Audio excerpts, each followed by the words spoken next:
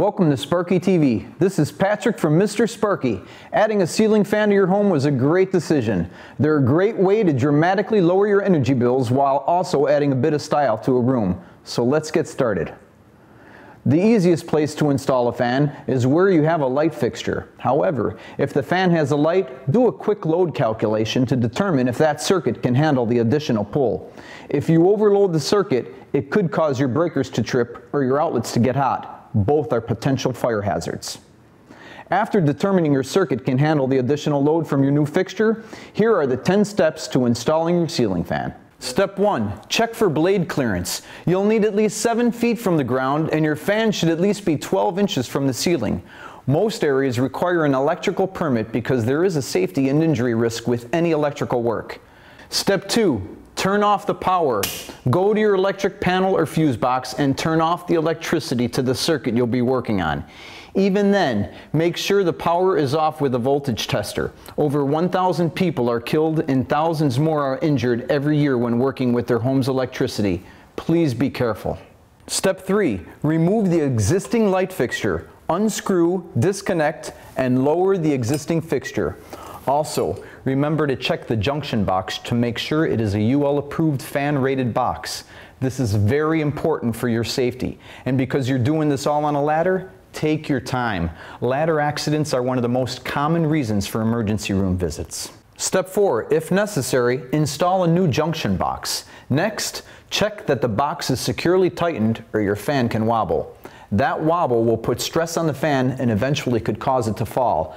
Finally, wrap the cable's copper wire around the grounding screw inside the box.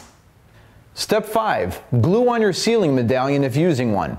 Put adhesive on the ceiling medallion, pass the wires through it, and then set your medallion in place. You'll also need to fasten nails to act as reinforcement. Step 6. Mount your ceiling plate. Pull the wires through the center of the fan's metal ceiling plate and attach the plate to the box. Step 7. Assemble your fan. Feed the wires from the fan's motor through the canopy, then set the canopy on top of the motor. Next, pass the wires through the down rod pipe and insert the pipe into the top of the motor. Finally, tighten the screw on the side of the pipe. Please be on solid ground when doing this step. Step 8. Connect the wires. Lift the fan and set the ball assembly into the ceiling plate. Next, join the two green wires to the bare copper wire coming from the cable. Then join the two white wires followed by the two black wires using wire nuts or padlock wire connectors. Finish by putting the fan canopy flush against the ceiling and securing it with the supplied screws. Step 9. Attach the blades and light fixture. Secure each fan blade to its bracket and the brackets to the motor. Next, plug the fan's light fixture housing into the wire from the fan's motor. Then add the light bulbs and shade, and then your last step, Step 10, turn your power back on. When you do, if you notice any lights flickering, arcing, popping, or any other noise, you may have a potential fire hazard. It's important to shut your power off immediately and call a licensed electrician. Those are my 10 steps to installing a ceiling fan. Before beginning this project at your home, please take time to read the manufacturer's instructions. Not all fixtures are the same.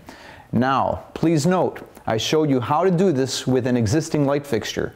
If you're hanging a fan where no electric is in place, this is a much more complicated project. If you encounter any troubles, we're standing by to help. Give us a call. You can always count on us for no malarkey service, guaranteeing you that we're on time, you'll see, or the repair is free. This is Patrick from Mr. Sparky and Sparky TV. Until next time, be safe out there.